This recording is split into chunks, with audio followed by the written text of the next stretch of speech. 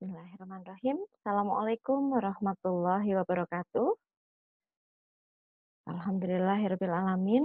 Kita kembali bertemu pada mata kuliah pemuliaan tanaman. Pada pertemuan ke-11 ini kita akan membahas topik tentang pemuliaan tanaman membiak vegetatif. Kita ketahui bersama bahwa tanaman yang ada di sekitar kita ternyata tidak semuanya mampu membiak secara generatif. Ada tanaman yang hanya bisa diperbanyak menggunakan teknik membiak vegetatif. Nah, untuk metode pemuliaan tanamannya tentu kita menyesuaikan dengan kemampuan tanaman dalam pembiakan vegetatif ini. Untuk selanjutnya, mari kita mengikuti uh, slide materi kuliah pada hari ini.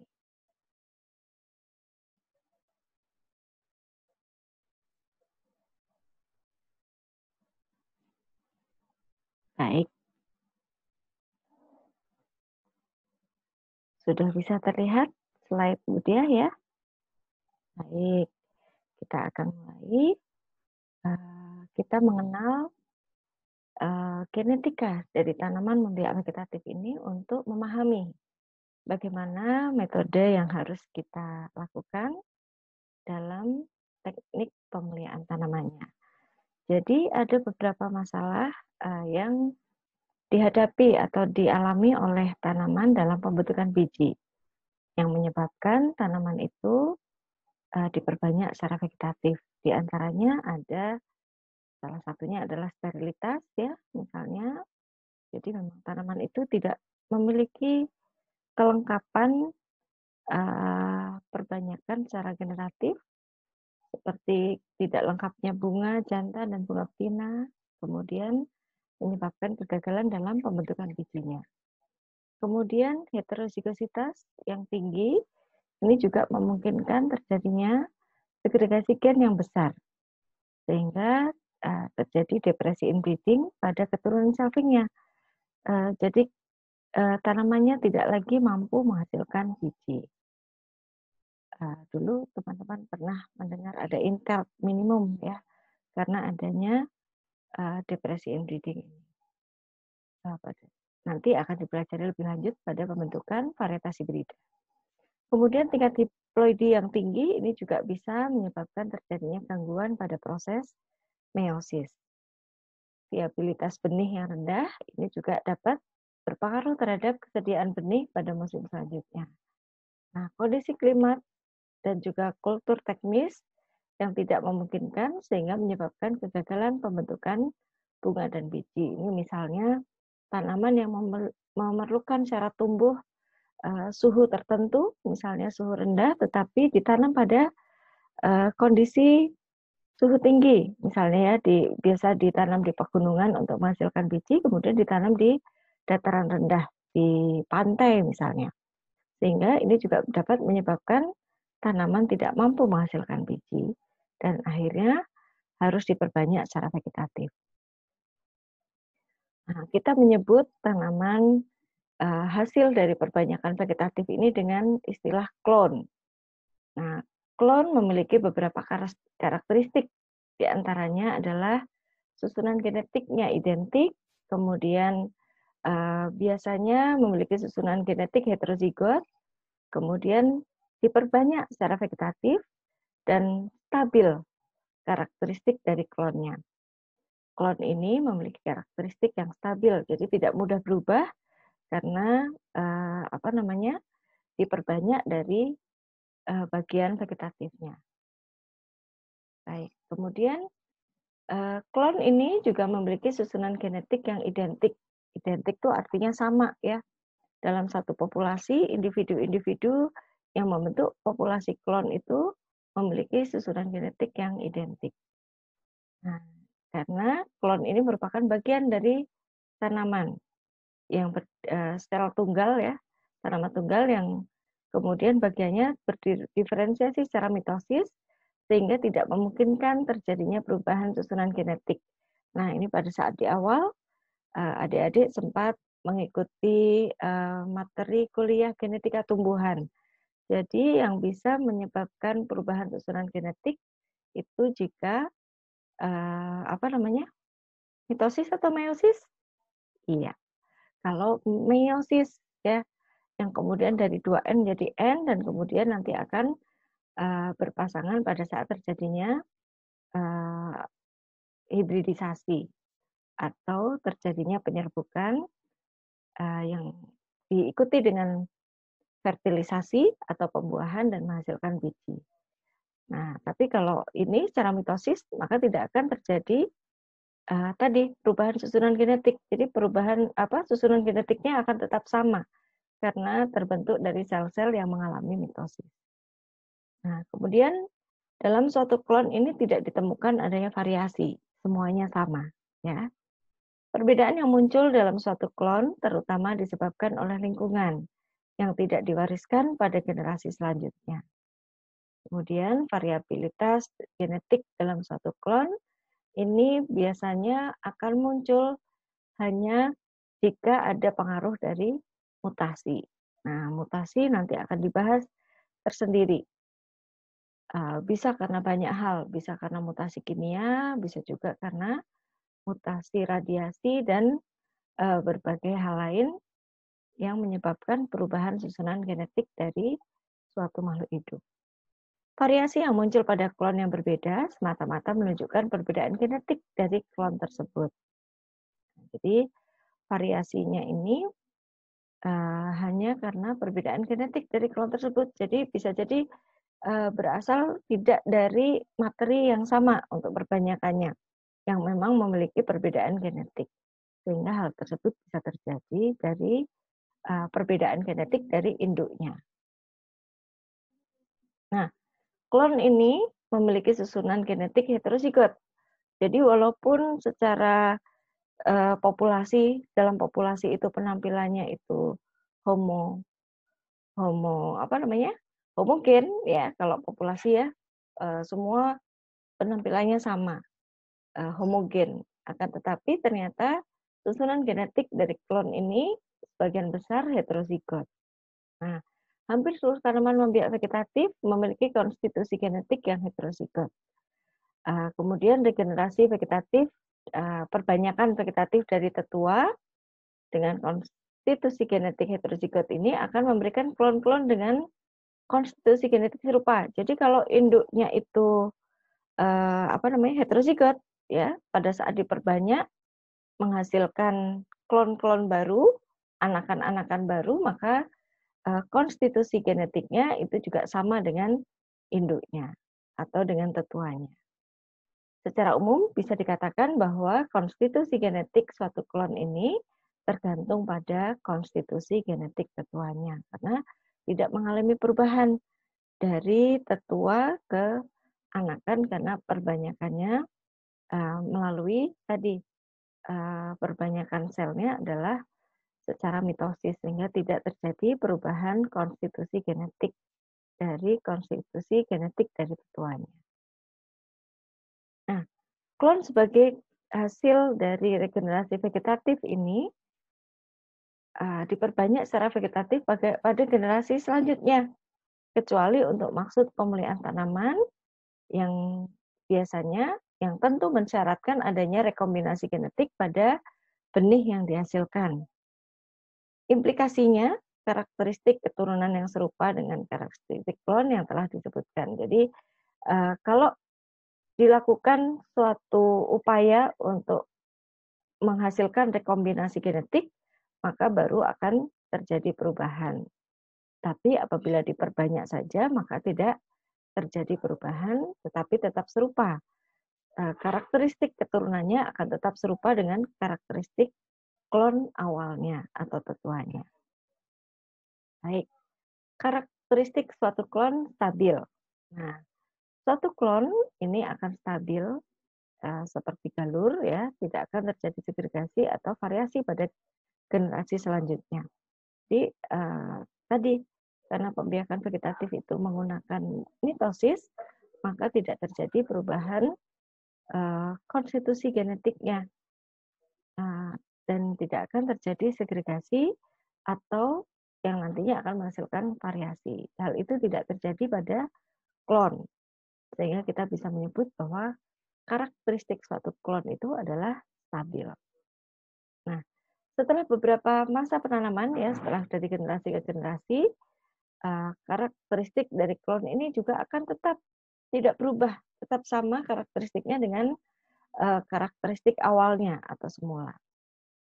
Kemudian pengaruh heterosis, ketahanan hama penyakit, ataupun karakter-karakter lain yang diinginkan juga kalau misalnya kita sudah mendapatkan uh, apa namanya klon yang memiliki tadi pengaruh heterosis, kemudian ada tahan terhadap hama penyakit tertentu, juga karakter lain, ini juga akan terpelihara pada generasi selanjutnya jika diperbanyak secara vegetatif.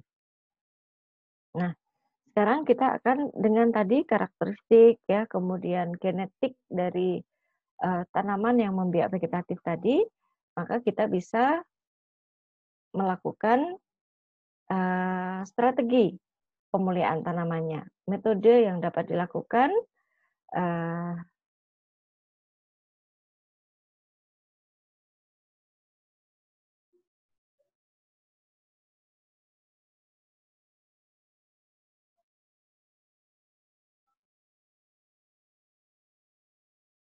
Baik, kita lanjutkan. Nah, jadi pemulihan tanaman membiak uh, vegetatif obligat. Jadi ada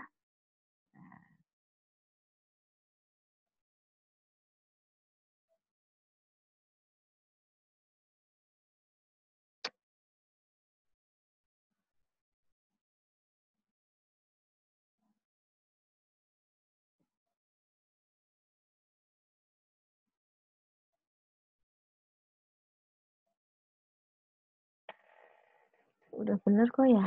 Aduh, aduh, aduh, aduh, aduh.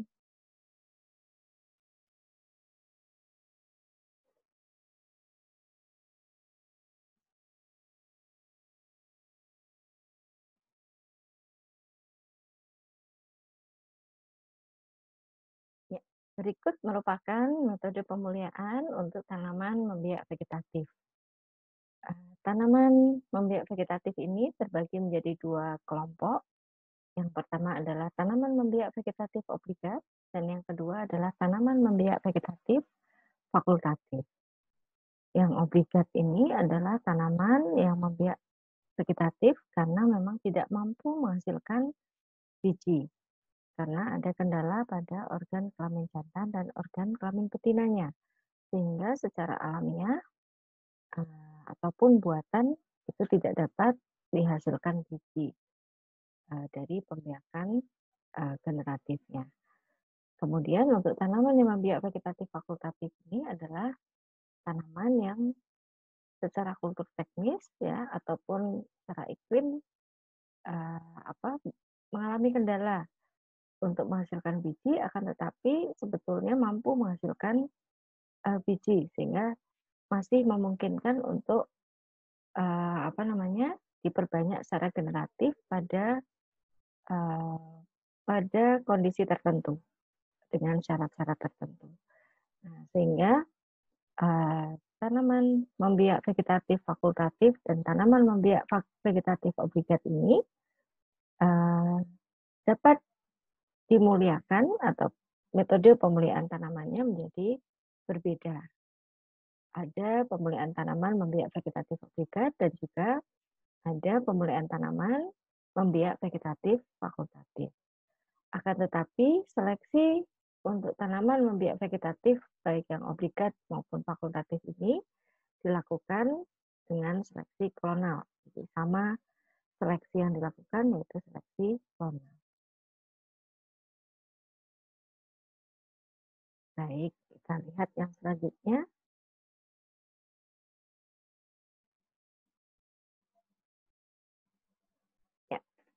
Nah, yang pertama kita akan melihat bagaimana pemulihan tanaman yang membiak vegetatif obligat.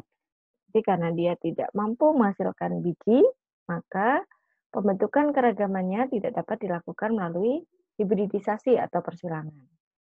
Karena tadi organ kelamin jantan dan organ kelamin betinanya tidak um, mampu berfungsi uh, untuk pembiakan generatif sehingga tidak dapat dilakukan sehingga pembentukan keragamannya hanya bisa kita dapat uh, bisa kita lakukan melalui mutasi atau rekayasa genetika. Nanti akan ada bab khusus yang membahas terkait dengan mutasi dan rekayasa genetika ini. Strategi pemuliaan yang bisa dilakukan untuk tanaman non-biak vegetatif obligat ini adalah seleksi dari populasi alami. Nah, ini juga uh, karena masih ada kemungkinan adanya keragaman yang disebabkan oleh mutasi alami, ya, sehingga kita bisa melakukan seleksi dari populasi alami. Kemudian yang kedua, uh, melakukan mutasi. Ini bisa menggunakan radiasi, bisa juga menggunakan uh, mutagen kimia. Nah, zat-zat yang dapat mengubah susunan genetik dari tanaman membiak vegetatif obligat. Kemudian bisa juga melakukan uh, atau mengulang pembentukan spesies pada awalnya. Dan yang keempat adalah transformasi genetik menggunakan rekayasa genetika. Nah, jadi untuk beberapa hal terkait dengan uh, mutasi maupun rekayasa genetika ini akan kita bahas pada bab tersendiri. Selanjutnya kita akan melihat bagaimana pemulihan tanaman membiak vegetatif yang fakultatif. Nah, tanaman membiak vegetatif fakultatif ini seperti kita bicarakan di awal, ini masih mampu menghasilkan biji. Eh, sehingga pembentukan keragamannya dapat dilakukan melalui hibridisasi. Kemudian setelah kita mendapatkan biji F1-nya, maka perbanyakan dari generasi F1 yang unggul setelah dilakukan seleksi ini dapat dilakukan melalui perbanyakan vegetatif. Jadi hanya satu kali uh, uh, persilangan pada tetua setelah di F1-nya diperoleh bijinya kemudian ditanam kemudian diseleksi, setelah itu eh, perbanyakannya akan menggunakan perbanyakan vegetatif. Nah, ada tiga aspek eh, pada pendekatan pemulihan tanaman membiak vegetatif yang fakultatif ini. Yang pertama adalah konstitusi genetik kedua tetua yang mampu memberikan variabilitas genetik yang luas pada keturunannya. Jadi eh, pada saat kita melakukan persilangan untuk menghasilkan F1, maka kita berusaha untuk mencari uh, apa tetua yang memiliki karakteristik yang berbeda. Ya. Sehingga nanti variabilitas genetik yang diperoleh pada F1-nya akan luas. Nah, jadi uh, apa kisaran karakteristiknya, karakternya itu uh, menjadi luas perbedaannya. Variabilitasnya menjadi variabilitas genetiknya menjadi luas juga. Nah, kemudian kehadiran karakter pada kedua tetua yang ingin digabungkan pada suatu genotip keturunannya ini juga harus menjadi perhatian. Nah, jadi kalau kita ingin menambahkan sifat tertentu pada keturunannya, pada uh, klon unggul yang ingin kita peroleh dari pemulihan uh, tanaman membiak vegetatif fakultatif ini, maka kita harus yakin bahwa kedua tetua yang kita gabungkan atau kita silangkan tadi harus memiliki karakter yang kita inginkan. Demikian. Kemudian yang ketiga, kemudahan menduga ekspresi genetik yang ditampilkan yang didukung oleh variabilitas genetik yang luas.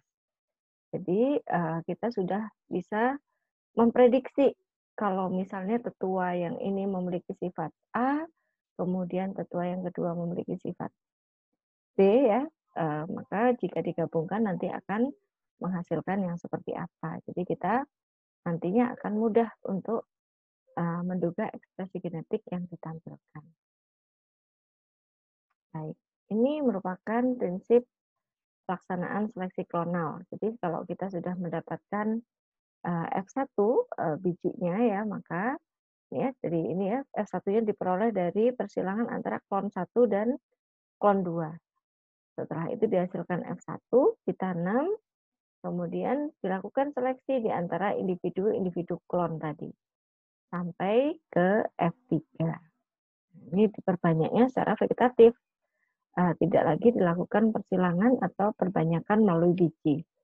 Semuanya untuk F1 sampai ke F3 ini dilakukan secara vegetatif perbanyakan bijinya. Sehingga seleksi yang dilakukan adalah seleksi di antara individu-individu klon. Nah, prinsip pelaksanaan seleksi klonal uh, adalah sebagai berikut. Jadi, segregasi gen pada tanaman membiak vegetatif hanya terjadi pada populasi F1 saja. Uh, karena itu, seleksi ini akan memberikan peluang diperolehnya uh, klon unggul. Jadi, uh, berbeda pada apa pemulihan tanaman yang membiak secara generatif ya biasanya akan di keragaman akan muncul pada F2 keragaman tertinggi karena adanya segregasi. Nah, tetapi kalau untuk tanaman yang membiak vegetatif fakultatif ini seleksi justru dilakukan pada F1. Nah, jadi peluang diperolehnya klon unggul itu adalah eh, pada seleksi di generasi yang pertama atau F1. Nah, bagaimana jika F1 yang unggul uh, apa uh, klon unggul ini belum ditemukan pada generasi F1 ini? Nah, maka perlu dilakukan persilangan antar tetua uh, kembali ya, dilakukan lagi atau bisa juga dilakukan kombinasi persilangan yang berbeda. Tadi misalnya klon 1 disilangkan dengan klon 2 ternyata tidak bisa menghasilkan uh, klon unggul yang memiliki karakter yang kita harapkan dari tujuan uh, pemuliaannya. Maka kita bisa mengubah, kita bisa melakukan lagi persilangan dengan kombinasi persilangan yang berbeda. Misalnya klon 1 dengan klon 3 atau klon 2 dengan klon 4 misalnya. Sehingga nanti diperoleh pada F1-nya nanti diperoleh klon-klon unggul yang sesuai dengan tujuan pemuliaan yang kita lakukan. Perbanyakan klon yang heterozigot dan juga tingkat heterozigositas antar klon dari generasi ke generasi ini ditempuh melalui perbanyakan vegetatif. Nah, jadi setelah diperoleh klon unggul pada F1, maka dilakukan perbanyakan klon uh, menggunakan perbanyakan vegetatif kita juga menjaga agar tidak terjadi persilangan sendiri antar individu dalam klon karena akan cenderung menyebabkan depresi inbreeding yang biasanya akan memunculkan sifat-sifat resesif yang tidak menguntungkan.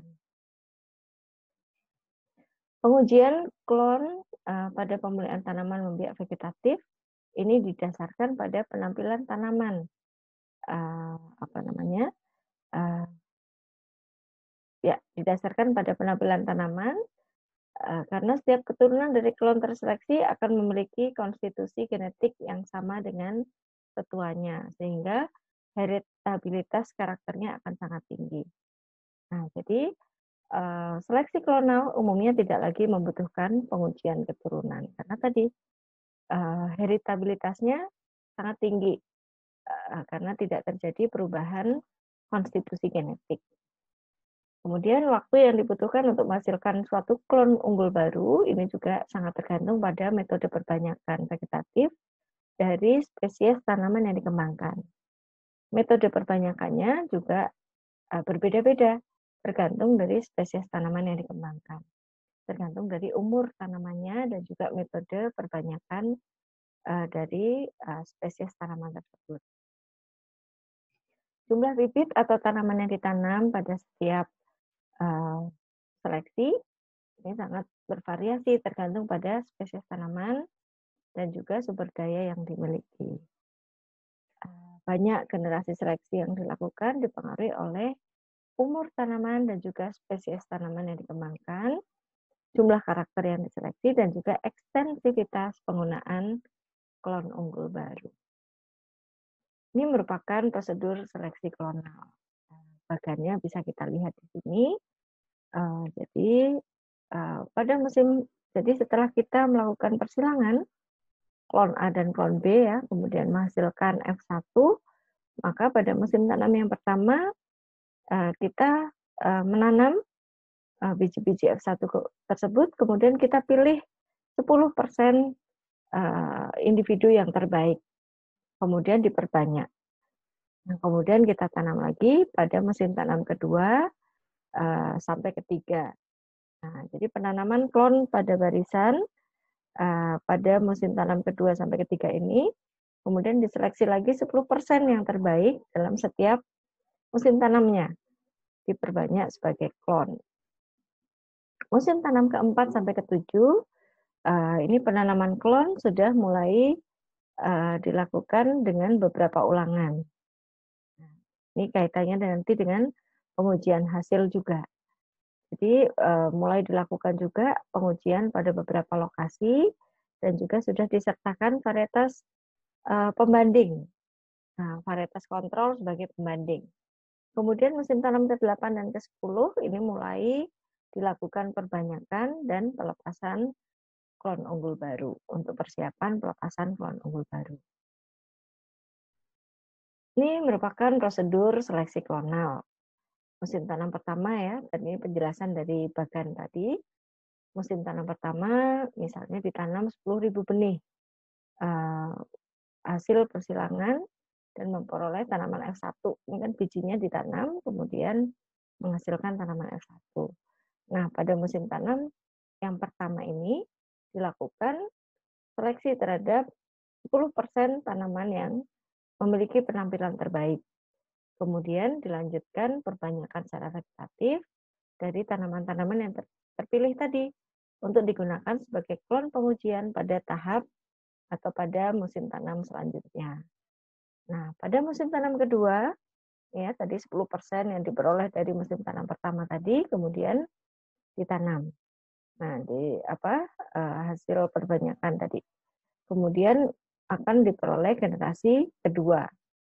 Seleksi dan perbanyakan vegetatif terhadap 10% dari um, tanaman yang di, di, diseleksi pada musim tanam kedua ini uh, akan dilanjutkan pada musim tanam berikutnya. Nah, musim tanam ketiga ini uh, dilakukan seleksi lagi terhadap 10% dari 10% tanaman terbaik dari uh, jumlah tanaman yang diseleksi pada musim tanam sebelumnya.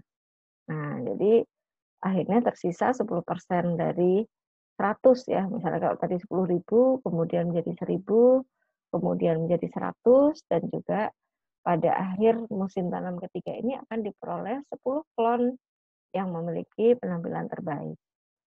Nah, perbanyakan vegetatif terhadap sejumlah klon ini uh, dilakukan untuk menyediakan bahan pengujian untuk tahap berikutnya. Nah, pada kegiatan musim tanam ketiga ini, penanaman sebaiknya dilakukan pada dua lokasi yang berbeda untuk mengetahui uh, tanggap dari klon tersebut terhadap lokasi yang berbeda, terhadap lingkungan yang berbeda. Kemudian musim tanam keempat sampai ketujuh, sepuluh klon unggulan yang tadi dihasilkan dari musim tanam ketiga tadi uh, ditanam sebagai plot-plot kelakuan. Kalau tadi masih individu, ya uh, pada musim tanam keempat sampai ketujuh ini dilakukan penanaman uh, sebagai plot-plot kelakuan dengan desain tata ruang percobaan dan juga sudah mulai dilakukan perulangan sesuai dengan kebutuhan dan ketersediaan materi tanam. Percobaan dilakukan pada berbagai lokasi yang berbeda dengan menyertakan varietas kontrol sebagai pembanding.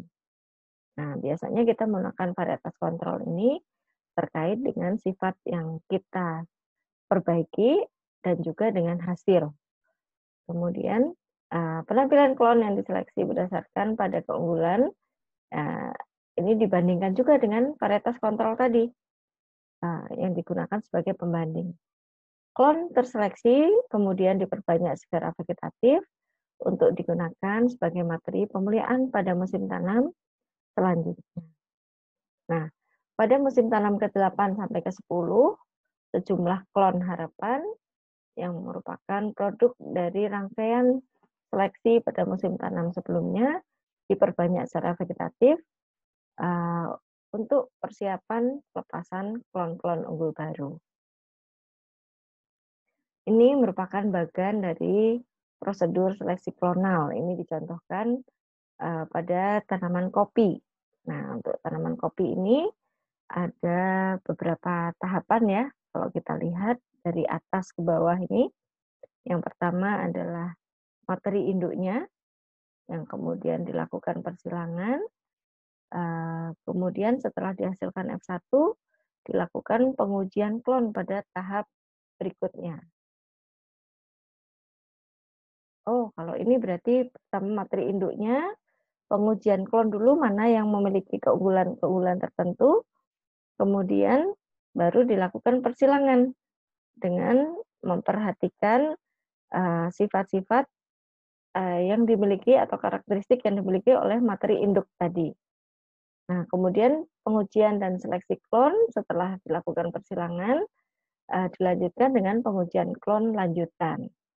Jadi pertama ini materi induknya dulu, kemudian materi induknya ini kita kita kenali dulu karakteristik dan juga keunggulannya uh, melalui pengujian klon. Setelah itu dilakukan persilangan ya antar materi induk tadi, kemudian dilakukan pengujian dan seleksi klon pada tahap berikutnya.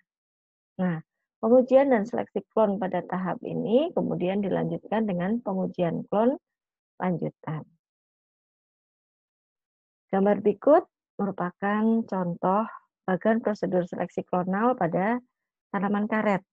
Tanaman karet juga vegetatif fakultatif karena dia sebetulnya bisa menghasilkan biji, akan tetapi eh, banyak dikembangkan secara vegetatif untuk mempertahankan keunggulannya.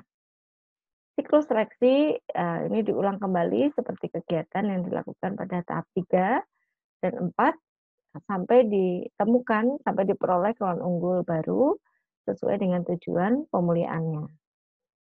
Ini keterangannya adalah yang pertama materi induk, kemudian yang kedua pengujian klon pertama, kemudian dilakukan persilangan, yang keempat itu adalah pengujian dan seleksi klon, dan yang kelima eh, adalah pengujian klon lanjutan.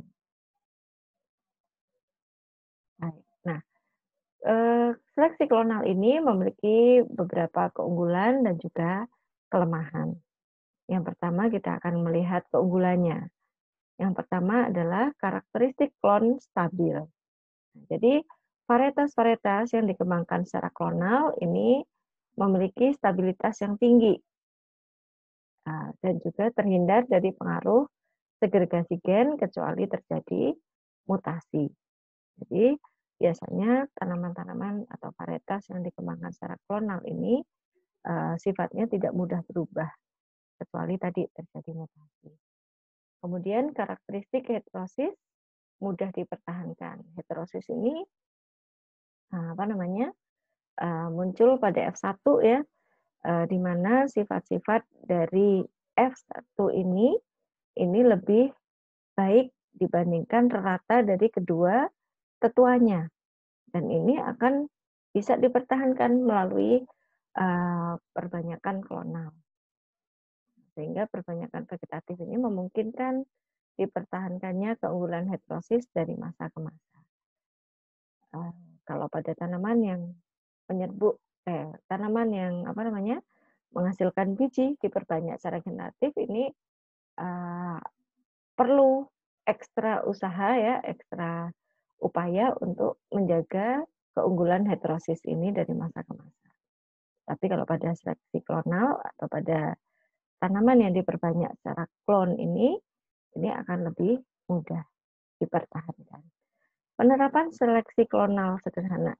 Nah, penerapan seleksi klonal ini cukup sederhana. Seleksi klonal hanya didasarkan pada keunggulan penampilan klon yang teruji, yang diuji ya dibandingkan dengan varietas kontrolnya saja.